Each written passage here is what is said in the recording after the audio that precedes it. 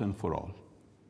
We will neither outsource our security, nor will we renegotiate or add on to a deal we have already implemented in good faith.